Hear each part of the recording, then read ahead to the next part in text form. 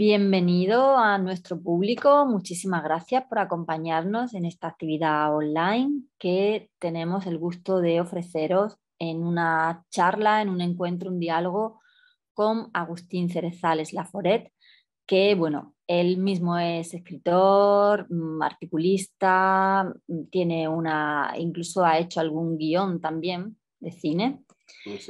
Y eh, hoy viene a mm, ofrecernos su visión y a establecer con nosotros un, encuentro a partir de, un documental que podremos ver también a continuación de la actividad, pero que se centra en la figura de Carmen Laforet, una figura literaria muy importante para el panorama de nuestra, de nuestra literatura, la literatura en español, y que además eh, se distingue por haber sido una mm, figura femenina relevante en un momento donde primaba la figura masculina y donde ser mujer, escritora y madre de familia tenía que ser todo, todo un, desafío y que además trasladó a su obra pues una serie de vivencias y de descripciones, de sensaciones, de mm, no sé cómo explicarlo, ¿no? pero se conseguía, consiguió Carmen trasladar en su obra, por supuesto en su principal obra por la que fue con 23 años ya internacionalmente reconocida, nada, pues algo que ha conseguido llegar también a nuestra generación y a las generaciones posteriores mm, igualmente. Entonces, me gustaría que Agustín nos acercara a esa, a esa figura de, de Carmen Laforet. Hola, ¿qué tal? Muchas gracias, Ana. Y bueno, muchas gracias al Instituto Cervantes de, Nápoles por, por acogerme. Ya, ya, ya os lo he dicho antes que me encantaría estar ahí. y, pero bueno, me llega, me llega el aroma de, de, de, la bahía. Eh, sí, la, habíamos titulado esta charla La modernidad de Carmen Laforet. El término modernidad siempre es un término que, habría que precisar un poco, ¿no? porque viene de, la, antigua querella de los antiguos y los modernos.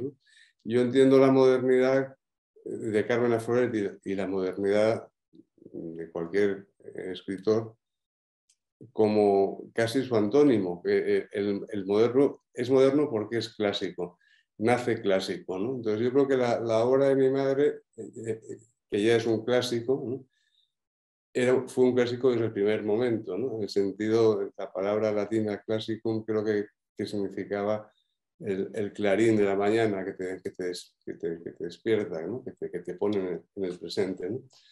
Entonces la modernidad de Carmen Afroret, entendida literariamente, luego podemos hablar también de, su modernidad en, en entendida desde el punto de vista de su personalidad ¿no? y, de, su temática ¿no? y, de lo, y, de lo, que, y de lo que sigue estando muy vigente precisamente porque es un clásico en, en, hoy. ¿no? Eh, fue una modernidad que, en su momento sorprendió mucho, la llamó la atención. Y ahí están los testimonios pues, de Azorín, de, Juan Ramón, lectores posteriores como de Libes, ¿no? podemos leer un párrafo suyo, ¿no? Eh, Carmen Martín Gaite, por supuesto, destacan también su, modernidad en, cuanto a a la, tradición novelística, a cómo hace una novela. ¿no? No, no, no es que haya un, salto un corte eh, total con la tradición, pero irrumpe con una forma de narrar nueva. Y es curioso que, ahora mismo, y, con un lenguaje también muy, muy, fresco, un, español que sí que podemos decir que es muy, moderno, en el sentido en que ahora lo leemos y, y no nos ofrece ninguna dificultad, no tiene ninguna ranciedumbre por ningún lado, ¿no? O sea, que eso es una cosa muy, muy especial, ¿no? Es como si el, el tiempo como si estuviera recién escrito, ¿no? cosa que no, se puede, que no se puede decir de todos los clásicos, porque el tiempo va, va dándoles una pátina que, nos, nos, aleja un poco el lenguaje, aunque sigan estando cerca por, por otros motivos. ¿no? Entonces esa modernidad eh, de, su forma de escribir a mí siempre me ha, impresionado.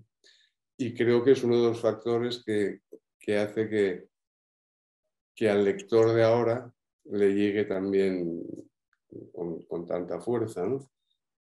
Y ahí ya podríamos pasar quizás más a, por qué, qué, es lo que nos cuenta, qué, qué, qué temas eh, eh, aborda y, cómo siguen siendo actuales. ¿no? O sea, es un... Yo me este año de centenario, bueno, pero siempre a lo largo del tiempo, ¿no? pero este año de centenario con más profusión, ¿no?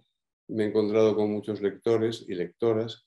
Digo lectores y lectoras porque, eh, curiosamente, jóvenes, quería decir muy, jóvenes, adolescentes o, jóvenes, que, que, sienten una gran identificación con, al, leer nada, ¿no? que, les, que les, les, llega muy, muy hondamente.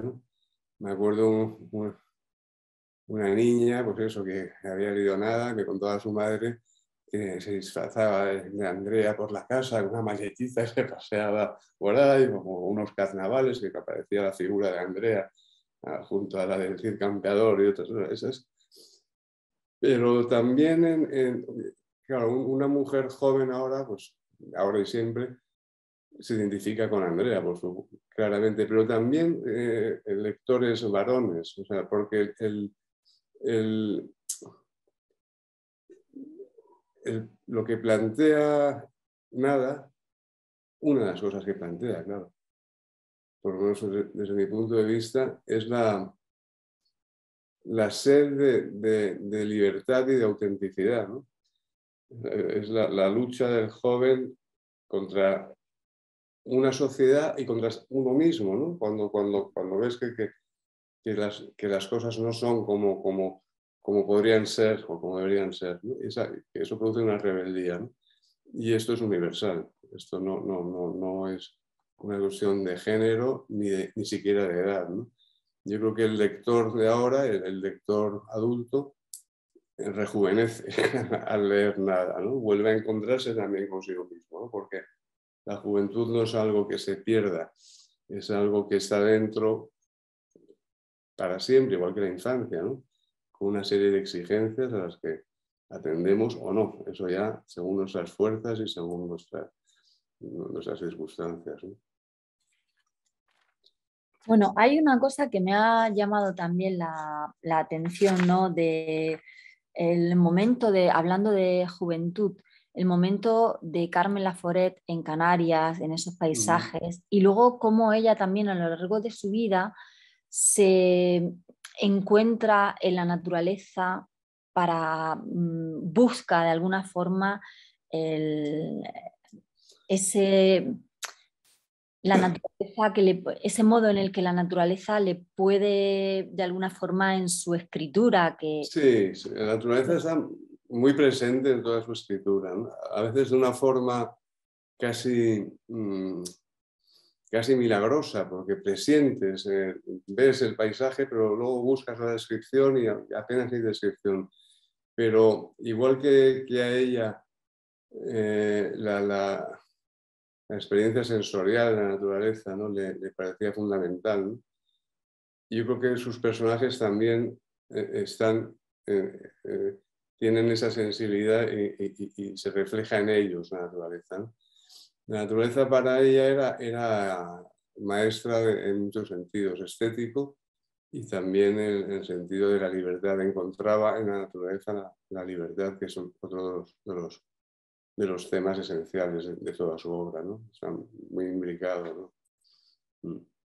y su infancia en Canarias, pues es, sigue estando presente su, su, percepción de la naturaleza, ¿no? que es de su emoción ante la naturaleza que, arranca desde la infancia y la adolescencia. la encontramos luego a lo largo de toda su obra, no, como referencia explícita a, la infancia en Canarias, pero pues ves la, insolación, por ejemplo, que es, su última novela, donde nos encontramos también con personajes muy jóvenes, que la crisis de la adolescencia. ahí, ahí está, aunque está situado en un lugar imaginario, ¿no? de de la costa mediterránea, en realidad está llena, eh, llena de, del sol, de la playa, de, de sensaciones y de, y de emociones que, que, que, le venían desde, desde el principio de la infancia. Sí, porque se entiende esa naturaleza, por una parte, em, como lugar de recogimiento donde Carmen Laforet encuentra su libertad creativa, pero también esa libertad que transmite en su obra y que también de alguna forma se mezcla en su andadura de viajera mm. a lo largo de su vida y mm. los distintos escenarios de los que Carmen también, Carmen Laforet se nutre como un modo de, em, de expresar su libertad también, ¿no? De expresar su libertad de elegir en qué momento y en qué lugar del mundo quiere estar, ya sea para escribir o para, para vivir. Sí, vamos, para, sí. Ella, la, libertad era desde luego una de sus, de sus preocupaciones máximas, porque la libertad es problemática, ¿no? la, libertad tiene, tiene muchas dimensiones. Y, y, y, la naturaleza es una, una fuente originaria ¿no? que, te, que, te, que te, te, hace reencontrarte, te, te renueva ¿no? el sentimiento de la libertad. ¿no? Pero eh, si vemos el tema de la libertad a lo largo de, toda su obra, vemos cómo lo, va tratando desde distintos, en, distintas dimensiones. Aunque siempre está esa, esa, esa pulsión ¿no? hacia la libertad, muy relacionada con la naturaleza y con el, y con el, con el viaje, ¿no? con, con el, el, salir de un lugar, el llegar a otro, el descubrir ella recuerdo que decía en un artículo eh, o en una entrevista, ¿no? de dónde se sentía, y decía yo, los montes y los ríos nunca son mis enemigos, ¿no? yo me gusta atravesarlos, ¿no? siempre era un poco ciudadana del mundo en ese sentido. ¿no? Y ahí quizás también hay una modernidad en ella, que ya eh, sociológica, por así decirlo, eh, lo que Carmen Martín Gaente señalaba como las chicas raras, que, un, término que acuñó y que ha tenido fortuna, con razón, porque realmente eh, te hace ver esas mujeres de esa época, ¿no? que como mi madre no, no, no se plegaban ¿no? A, las exigencias de la sociedad del momento, ¿no? que, querían ser, que eran ellas mismas y que querían ser ellas mismas, pues eran vistas como chicas raras, que ahora las veríamos como chicas normales, ¿no? afortunadamente, ¿no? Ha habido un, proceso eh, fantástico, ¿no? ha habido un, a, mi, a, mi, madre le pasaba una cosa muy graciosa, que siempre creían que era extranjera, ¿no? Y ella no hacía nada por parecer extranjera, ¿no? Pero la confundían siempre con una extranjera, ¿no?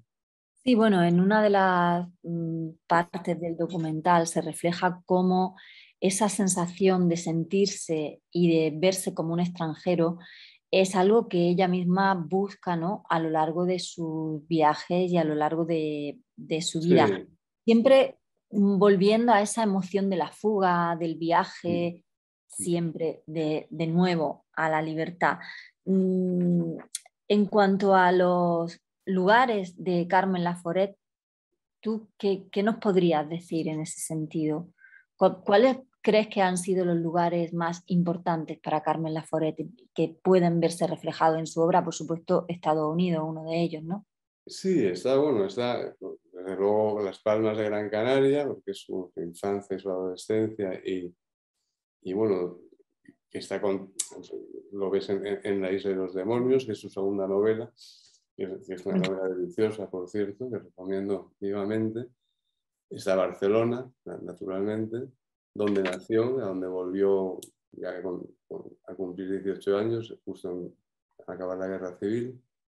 Y ahí sufrió, digamos, ella había pasado una adolescencia, una guerra, la guerra civil la pasó en Las Palmas, donde no había frente de batalla.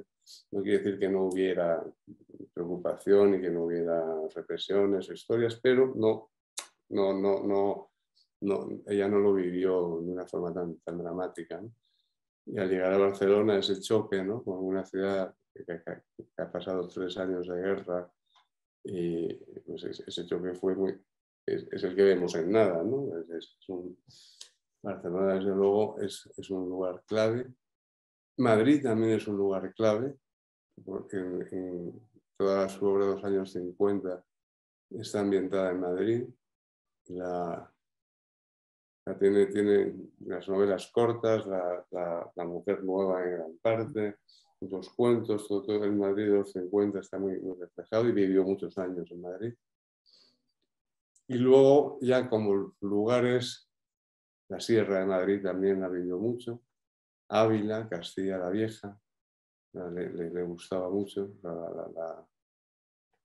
y Roma, desde luego, en Roma eh, pasó varios años a Roma llegó por casualidad, porque y, al llegar había una tormenta enorme y luego salió el sol y, le encantó y se quedó varios años. Llegó por casualidad porque una amiga suya habían quedado en ir juntas a París y su amiga, que era Rebull, era, era eh, Conchita Rebull, era jurista, y era una amiga de, la época de juventud de Barcelona. ¿no? Esta era una chica, bueno, el caso es que iban a ir a París, que, es la ciudad que, a mi madre más le gustaba del mundo. A París era su, su ideal, decía que, que, tenía algo, la atmósfera de París estimulante, o sea, le gustaba por, razones no, no, no, muy fáciles de, decir, pero que, era su, su, ilusión era ir a París un tiempo. Pero su amiga tenía un congreso en Roma y la llevó a Roma. Y ahí, y ahí bueno, pues eh, le encantó Italia, por supuesto. Tenía gran simpatía por, por, la, por, la, por, Italia, por la, por la vida en la calle de Italia, ¿no? Y, pasó unos años ahí, aunque no, no ha dejado... Ella iba a escribir un libro, se llamaba Encuentros en el Trastevere, ¿no? que eran encuentros, algunos de ellos con personajes conocidos que, encontró allí, que hizo amistad, pues como Rafael Alberti, otros intelectuales exiliados, pero también con gente que se, que se había encontrado. Una pena que no, no, no lo escribió. Hay algunos retazos de, de, ello, cosas que, artículos que sí que están relacionados con ello, pero no, no lo escribió. Y luego Estados Unidos, en Estados Unidos ya viajó en el año 65, invitada por el Departamento de Estado. Y ahí fue un viaje pues, de dos meses, que de ahí sí salió un libro, una serie de reportajes. Y luego volvería más adelante hacer las conferencias en, universidades.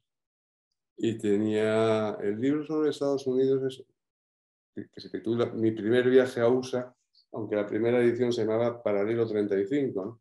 Pero ese, fue un título que, impuso José Manuel Lara, el editor, y luego ella lo quitó porque no le gustaba. ¿eh?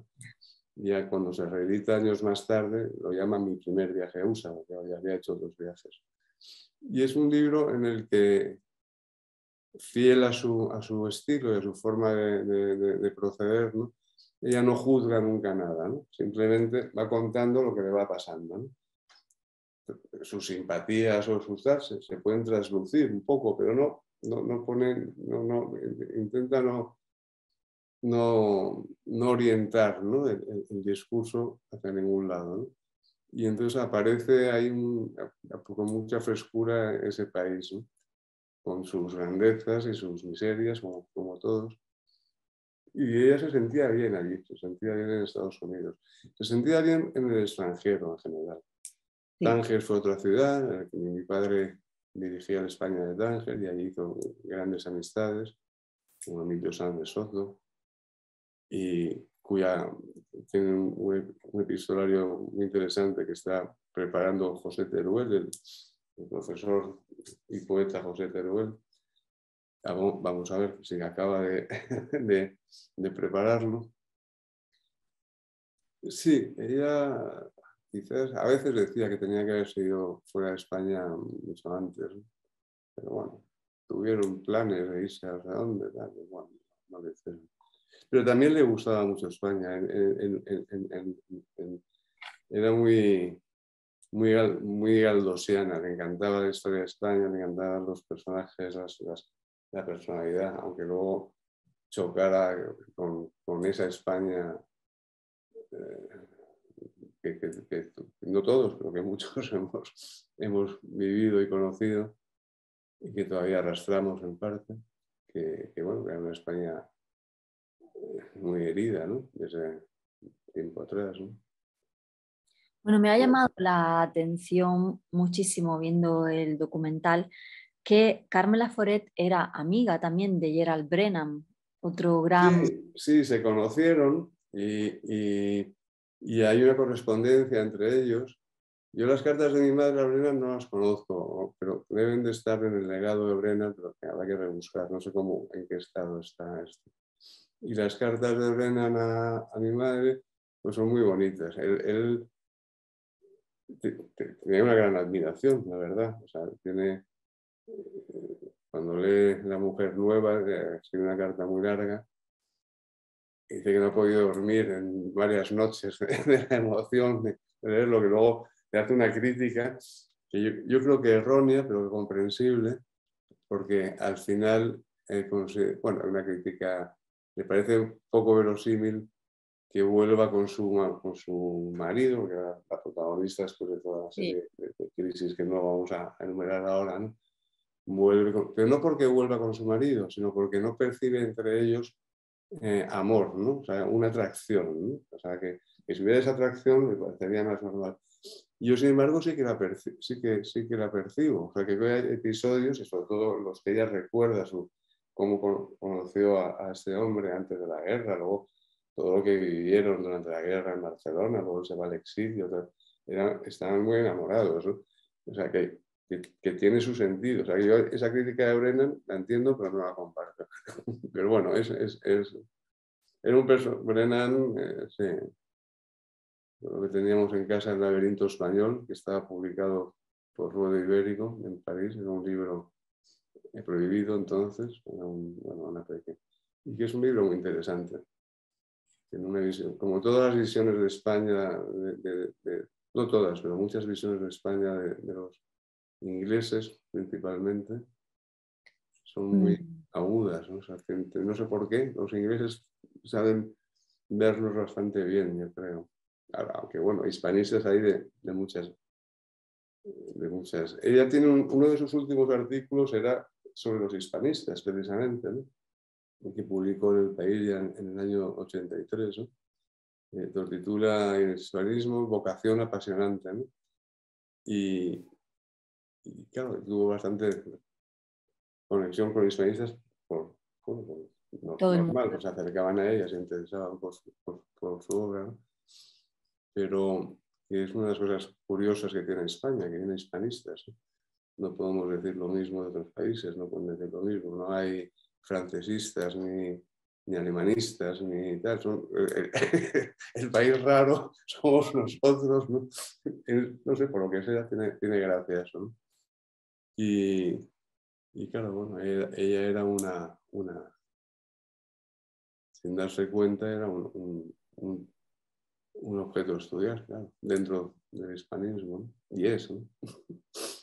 Bueno, en cuanto a su estilo narrativo, eh, da la sensación, viendo un poco la mm, perspectiva de su obra, que va siempre, Carmen Laforet va siempre buscando mm, la perfección casi, diríamos, ¿no? Mm. Entre su primera novela, un éxito tan, tan clamoroso, eh, su segunda obra, pasan ocho años, pero conforme va avanzando el tiempo, siempre de alguna forma se percibe que siempre busca esa perfección, esa nueva barrera, pasar esa barrera narrativa que le permita cada vez más ser más, mm, expresar mejor su... Sí, ella era muy, muy, muy exigente, ¿no? Eh, eh, eh, y cuando escribió una novela, pues, pues se olvidaba de comer realmente, ¿no? tenía, tenía un... y yo creo que ella buscaba la perfección, pero más que una perfección estructural, ¿no? O, creo que lo que a ella le movía era llegar a la lectura de la propia obra y darse cuenta de que eso fluía con total mm, tersura. ¿no? O sea, no... Eso era lo que creo yo, ¿eh? eso es mi, interpretación, porque ella no, no, hacía muchos, muchas cábalas teóricas sobre el arte de la novela. Algunas sí, pero, por ejemplo, consideraba a Baroja pues, un novelista fundamental, no solo para la novela española, sino para la, internacional, porque decía que había ejercido una influencia muy, importante a través de otros escritores, Hemingway y otros, y, y, Dos Pasos, pues no lo sé, ¿no? Pero hmm, sí, tenía esa, exigencia. Y, yo no sé, porque en, los, las novelas cortas, los cuentos, los artículos, que son textos no escritos bajo esa presión que ella se ponía a sí misma, porque ella se consideraba ante todo novelista, era, la novela lo que, le, Y sin embargo, las novelas cortas, los cuentos son también de una gran perfección, o sea que le, salían muy bien sin, sin, sin, sin darle más vueltas, o sea que rompió mucho, mucho, rompía y rompía, y a lo mejor pues no sé, pero bueno, esa, era, ese es su, esa es su, su, forma y su, estilo de escritora. al respecto de, la... Eh, ver 10 líneas de Delibes, ¿no? Cuando, en el año 68, que hace un repaso ¿no? de, la obra, sí, bueno, de la obra, principalmente de nada, ¿no? Pero llama la atención como cómo ve él, cómo ve Delibes ya en el año 68. Eh, hizo una serie de varios artículos, el segundo se titulaba Carmen Laforet, innovadora.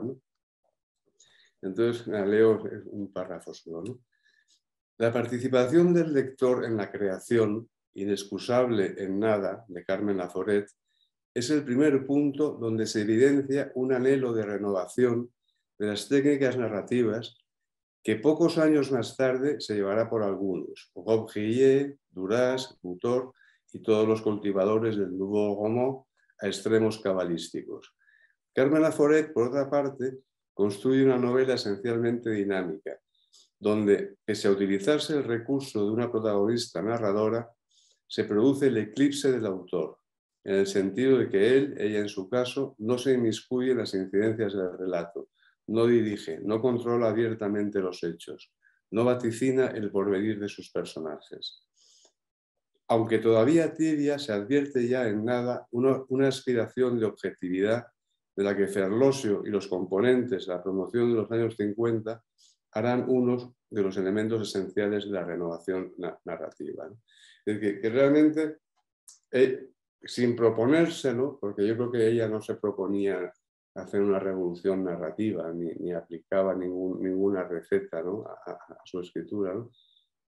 Eh, da, con un, da un paso adelante en, el, en, el, arte de la novela.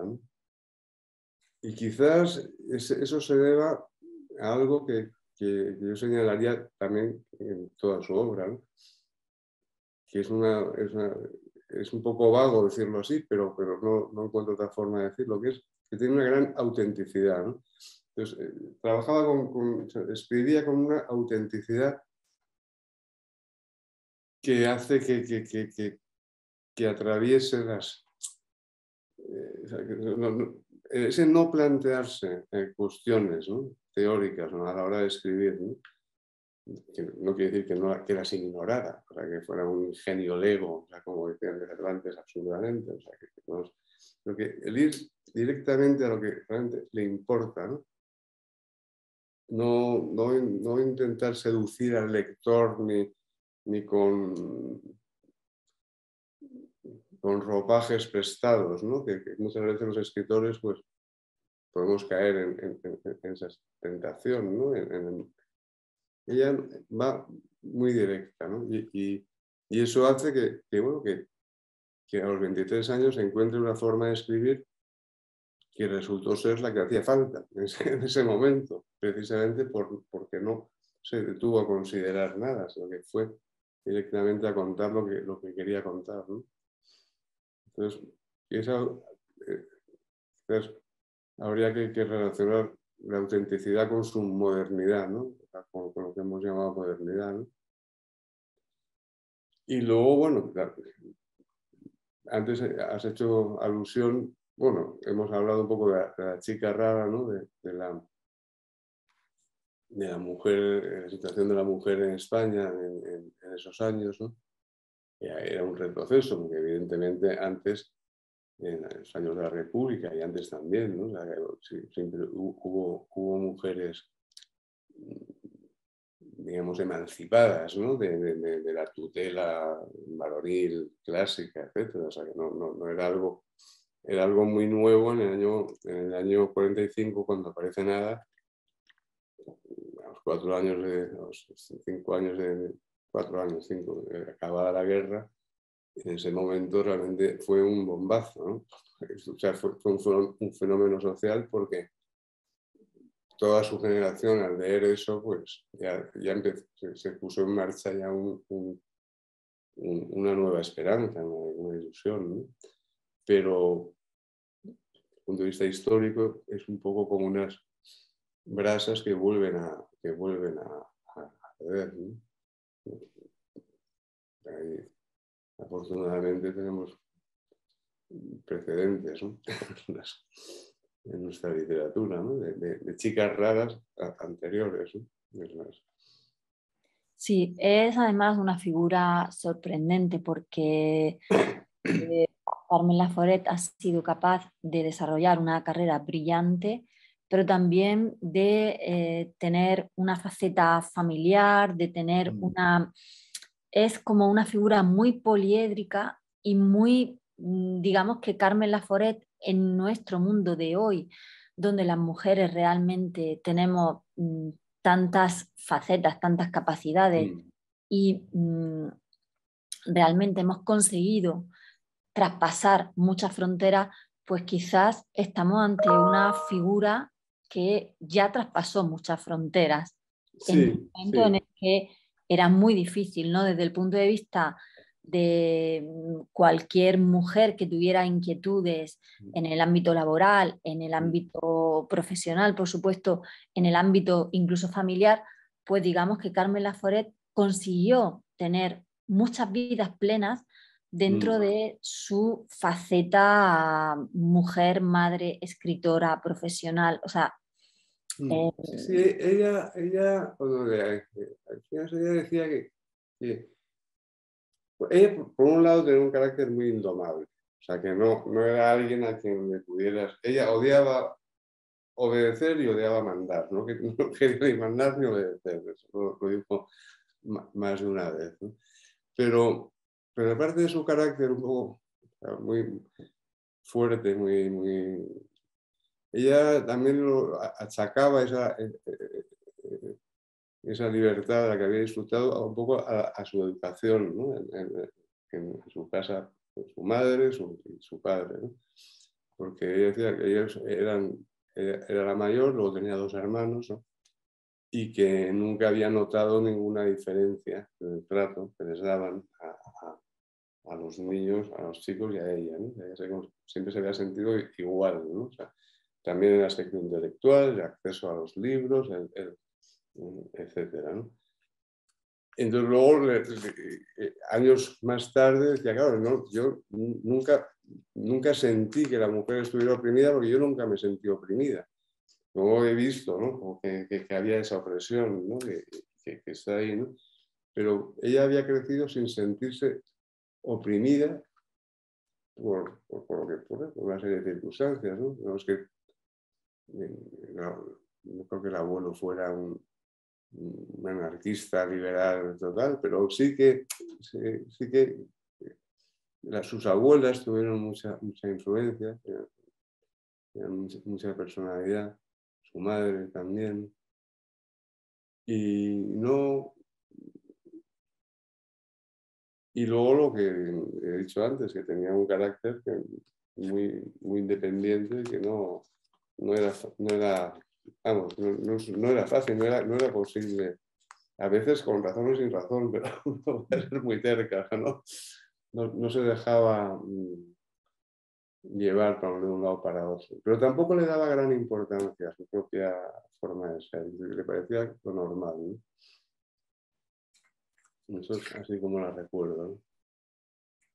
Sí, bueno, eh, debió de pesarle bastante a Carmen Laforet el éxito de esta primera novela Nada, pero también mm, le llevó a desafiarse a sí misma y estar siempre en esa tensión, en esa lucha con su propia escritura. Pero sin embargo consiguió tener una trayectoria y una mm, producción muy, de una calidad altísima, tanto es así que es una de las escritoras que más se estudian en todas las universidades del mundo ¿no? y de las más mm, influyentes para el conocimiento de la, de la, literatura española. Sí, yo creo que ella no perdió nunca la autenticidad. En ese sentido, y la escritura para ella también tenía momentos muy dramáticos, o sea, que era una lucha, no, no, no, y lo, ella lo cuenta en, distintos textos y momentos, ¿no? y, y, que en un momento dado hubiera gustado no ser escritora, no, no, pero luego se daba cuenta que no podía dejar de serlo, o sea, que había una especie de, de, de destino que, que, que, al que no podía sustraerse. Entonces yo vivía el hecho de la escritura como, como algo maravilloso y algo terrible a la vez. esa, esa, eh, esa dualidad, ¿no? Y yo creo que era terrible, claro, precisamente por, por, por su autoexigencia, ¿no? en ese sentido, Agustín, ¿qué autores crees tú que influyeron principalmente en la obra de Carmen Laforet? ¿Cuáles son las influencias que tú podrías o si ella... el, término influencia no, no, sé si sabría aplicarlo, ¿no? porque realmente ella no sigue un modelo. no, no, no dices, bueno, es que se parece a o tiene una influencia de... Lo que sí que, lo que, sí que era una gran lectora y gran admiradora de, los... Eh, quizás puestos a, a buscar una influencia, yo encontraría una influencia en los cuentos de Chekhov. Junto con Chekhov, hay muy bien Chekhov, ella vio podía ser una influencia. Sí, yo. Este que, ¿eh? perdón, que yo en este caso, o sea, influencia, quizás lo he transmitido mal, ¿no? Lo entiendo más como fuente de alguna forma de admiración que luego... Sí, como fuente de admiración... Eh, ¿no? en su obra. Sí, desde el principio eh, pues Galdós, Elena Fortún, pero ella también, pues Salgari, las novelas de aventura te encantaban, Baroja. Baroja siempre fue un, admiraba muchísimo a Baroja, ¿no? A Galdós lo amaba, a Baroja, y bueno, admiraba, por supuesto, ¿no? Pero, pero... Y luego ella siempre contaba que el primer escritor, ¿no? Que leyó, con 15, 16 años, con, ya con, un interés... Mm, casi profesional, por así decirlo, intentando desentrañar su, su, escritura, fue Proust. Eh, en la traducción de Salinas, que eran los dos, no sé si los dos o los primeros volúmenes, o tres primeros volúmenes, ¿no? Pero esa lectura para ella fue, fue ahí es donde, donde vio la literatura, no ya como lector gozoso, como escritor aficionado, sino como, como gran enigma. Pero claro, Proust no, Bueno, en su obra hay mucho juego con el tiempo, eso es verdad. juega con, el tiempo y sobre todo en la, obra final, en Tres Pasos Fuera del Tiempo, fue una, trilogía incompleta. Que el problema de la memoria, del tiempo, de los recuerdos, eso lo, quiso abordar y lo abordó. Pero bueno, no, no es una influencia de Proust. O sea, lo que pasa es que en Proust encontró y luego los rusos también, hubo un momento en que el, descubrimiento de la literatura rusa, Andreyev, Turgenev, Tolstoy, Dostoyevsky, aunque ella, ella era más dostoyevskiana que, que tolstoyana, porque decía que tenía más, más poesía, más humor. Y el humor de Dostoyevsky es, hay que buscarlo, pero lo, lo tienen. Mm, estos son autores. Y luego los poetas. Era, muy lectora de poesía, pero muy íntima en su lectura de poesía. Casi no, hablaba mucho de, poesía. Luego he ido viendo, bueno, pues los clásicos, por supuesto, el romancero lo, conocía muy bien y le gustaba evocarlo y recitarlo. ¿no? El romancero, que yo si fuera ministro de Educación en, en una dictadura feliz lo pondría obligatoriamente a todos los niños porque es realmente una fuente de, conocimiento del idioma, de nuestro idioma, de nuestros recursos expresivos increíbles.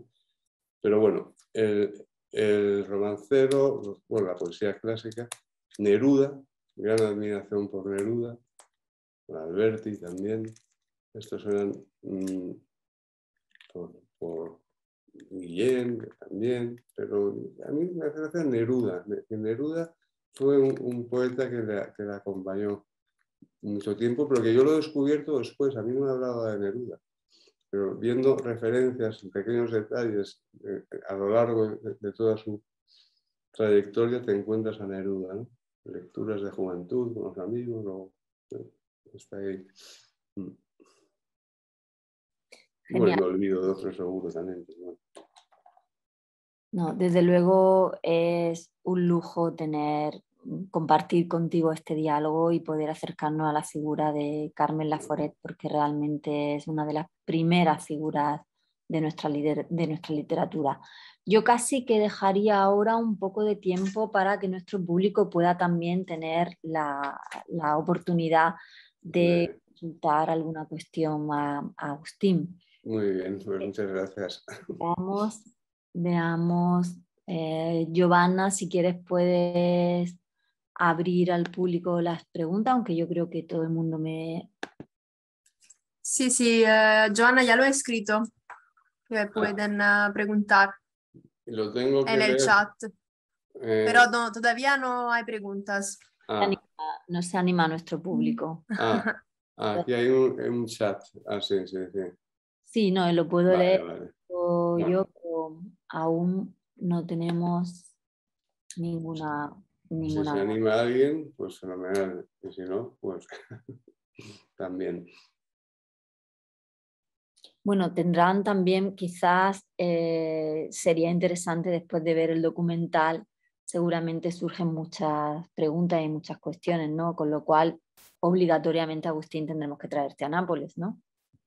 tener que volver a Nápoles, porque pero me parece que, si voy a Nápoles, lo mismo me quedo en Nápoles, ya para siempre.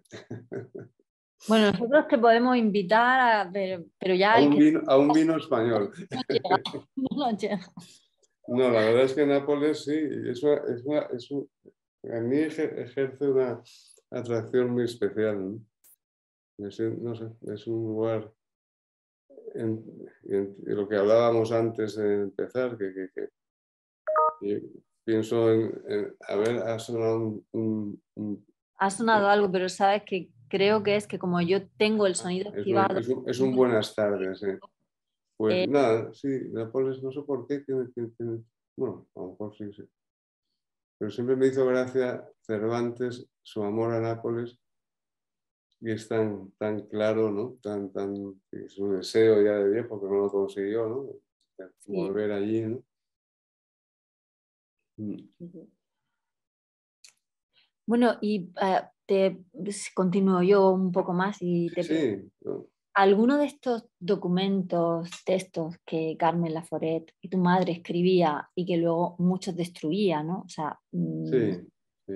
eh, está es, ese, ese juego de ella misma con su desafío, con la escritura, de escribir y luego de no estar totalmente con- convencida, de no gustarle Sí. y que desaparezca esa producción literaria. Pero algo de inédito que hayáis podido recuperar. Sí, algunas cosas. ¿no? Bueno, eh, se, publicó en, en- en- póstumamente, pero por muy poco, porque eh, se- le habíamos pedido autorización. ¿no? Eh, eh, al, volver la esquina, que es la segunda parte de la trilogía inconclusa, que ella no había querido publicarla, aunque la había mandado al editor, el editor le devolvió las galeradas, empezó a hacer correcciones en las galeradas, que nosotros incorporamos en la edición, pero no había quedado del todo satisfecha. ¿no? Y eso, bueno, fue un inédito que, que salió en su momento. Y luego el, el Instituto Cervantes ha, ha sacado un, un cuaderno de, de notas que, que precede a- a- al- al libro eh, Mi primer viaje a USA, que es los preparativos del viaje, que ves cómo se está preparando y el viaje en barco hasta, hasta Nueva York, luego ya el libro empieza ya en, en- prácticamente en, Washington, en, Nueva York.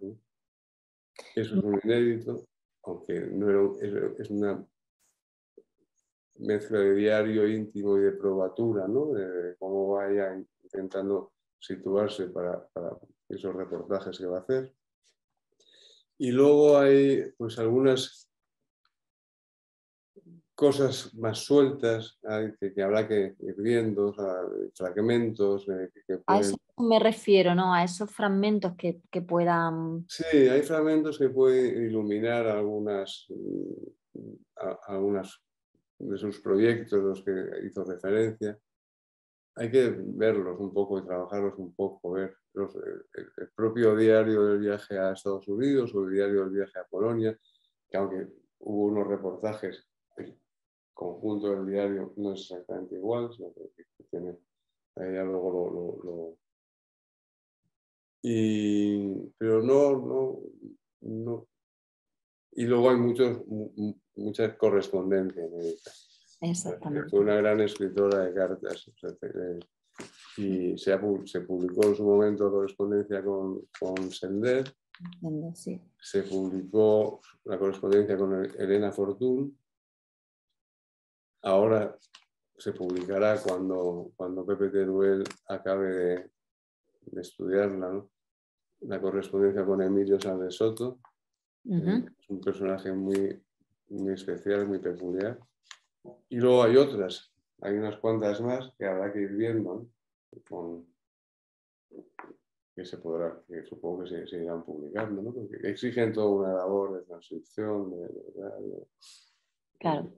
Pero, Mira, Tenemos, Agustín, dos preguntas. Giovanni le dice, ¿cómo es ser el hijo de una escritora famosa? Y Yad Arcuri, ¿qué le aconsejaría a la escritora a las jóvenes mujeres de hoy?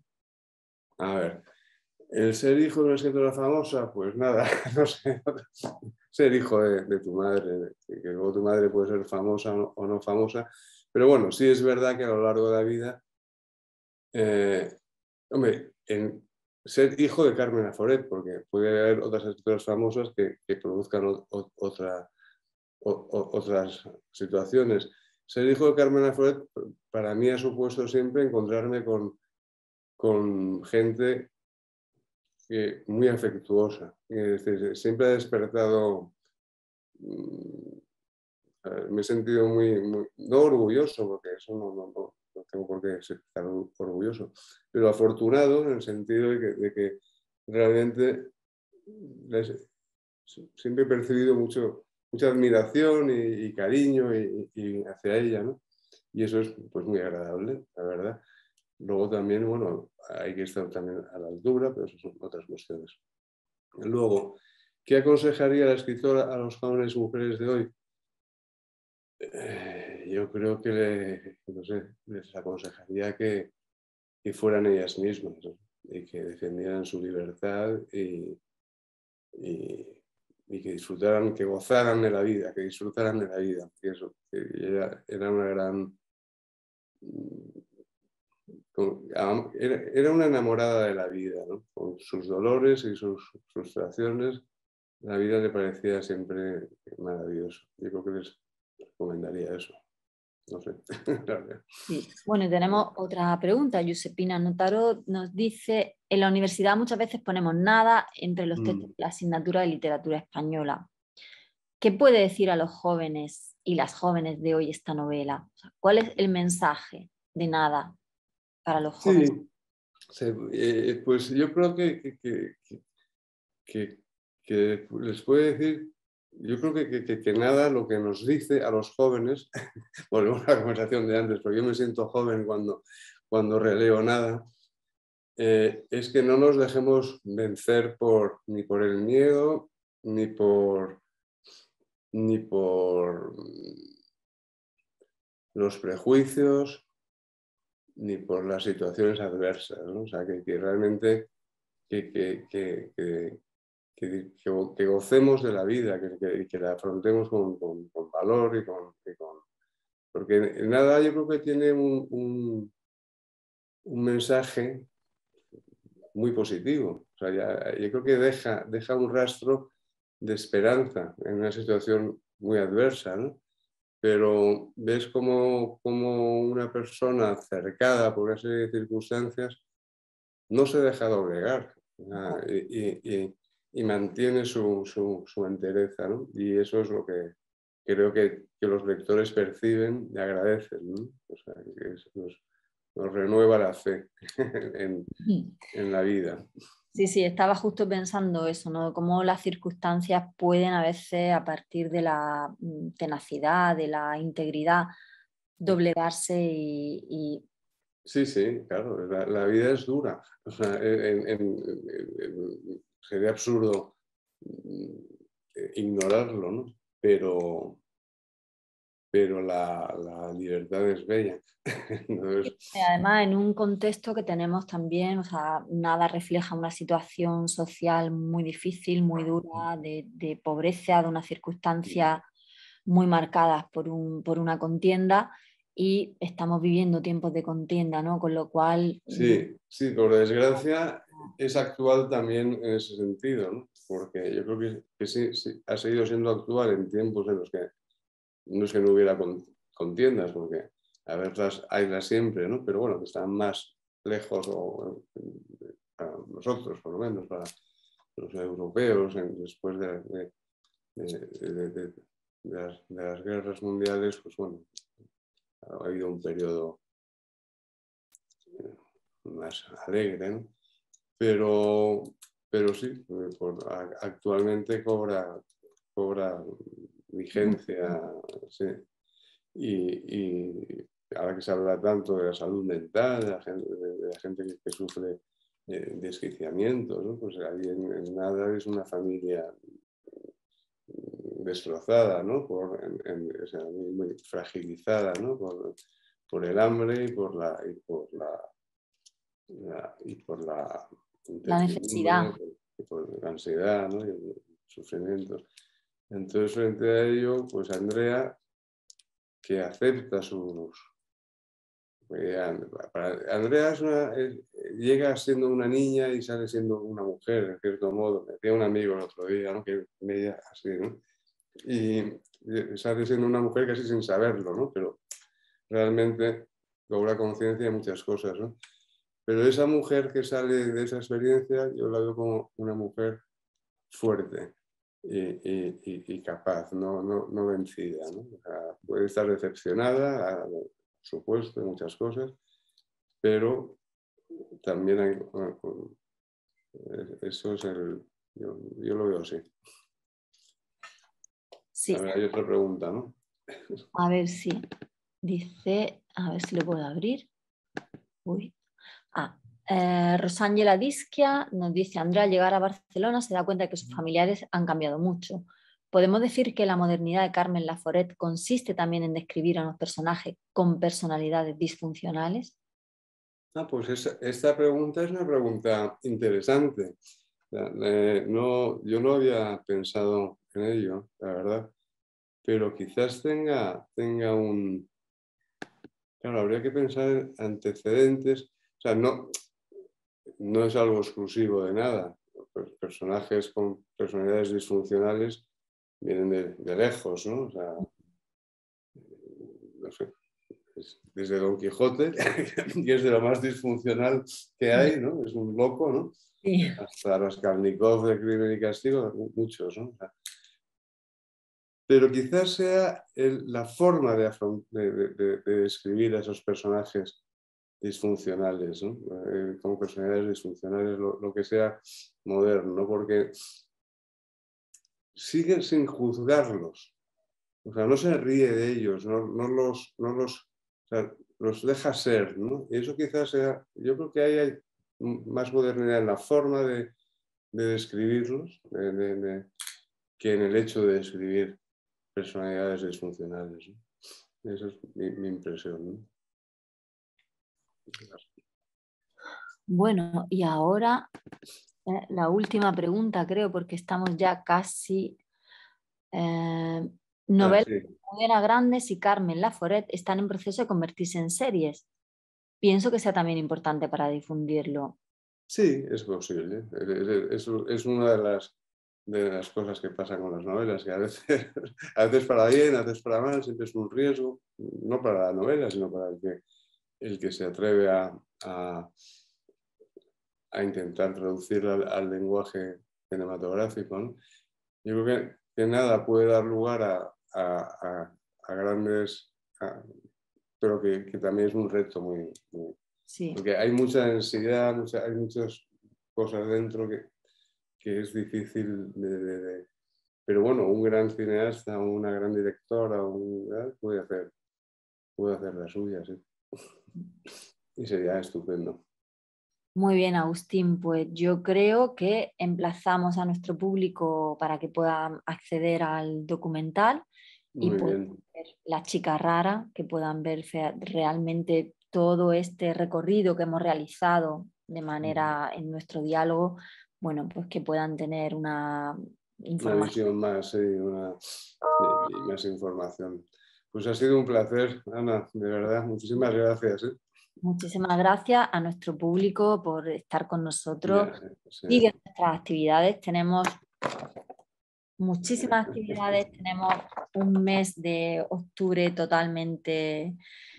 Eh, tenemos cabida para aperitivo español, para eventos traumáticos en la comunicación de la memoria del olvido en la edad moderna, muy interesante. Y bueno, presentaremos obras, continuaremos con todas nuestras actividades actuales que estamos encantados de poder ofrecer y acercar el Instituto Cervantes a Nápoles y al sur de Italia.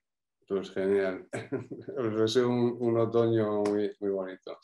Muchas gracias, Agustín. Esperamos tenerte pronto en Nápoles. Gracias. Hasta luego. Hasta luego.